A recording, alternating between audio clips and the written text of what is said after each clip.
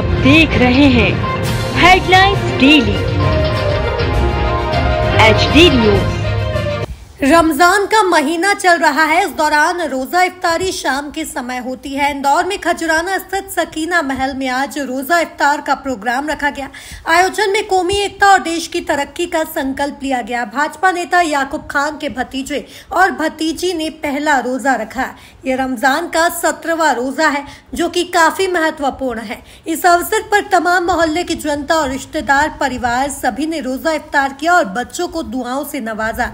भाजपा नेता याकूब खान ने मीडिया से चर्चा में कहा कि देश में अमन चयन और आपसी भाईचारे का संकल्प लिया गया। साथ ही देश में आवाम की उन्नति के लिए कौमी एकता का पुरजोर समर्थन करने पर सभी की एक राय बनी। इस अवसर पर पार्षद उस्मान पटेल, हाजी बब्बू साहब, याकूब खान, आवेश खान, जाकिर खान, मोइन कुरेशी, मुजीब कुरेशी, यूनुस कुरेशी, सफीक कुरेशी सभी लोग मौजूद रहे। और रोजा इफ्तार के आयोजन लगातार चल रहे हैं। आज ये कहाँ पर आयोजन हुआ है? क्या ये आज खजराना के सकीना महल के अंदर हमारे भतीजा अजीम और समरीन कुरैशी ने रोज़ा रखा सत्रवा। आज रमज़ान माह का सत्रवा रोज़ा बहुत महत्वपूर्ण होता है।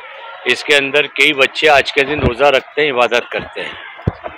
तो आज किस तरह से पूरी रोजा इफ्तारी का आयोजन आज मोहल्ले के सारे लोग हमारे क्षेत्र के पार्षद उस्मान पटेल इकबाल खान जी और बाल राजनेता समाज के लोग बुज़ुर्ग सारे लोगों ने साथ के बच्चों का अफसा अफजाई करा उनके साथ रोज़ा अख्तियार करा और बच्चों का रोज़ा खुलवाया। आज इस पाक अवसर पर आपका क्या संदेश है सभी के लिए? हमारा संदेश आज के दिन यही है कि देश में अमान चैन शांति बना रहे हिंदू मुसलमान आपस में सब भाई भाई बन के सारे त्यौहार बनाए। रमज़ान के अंदर भी हमने सारे रमज़ान के अंदर इबादत करके यही दुआ कर रहे हैं कि देश में खुशहाली रहे और हर लोग अपना त्यौहार बनाए भाईचारा बनाकर रहें।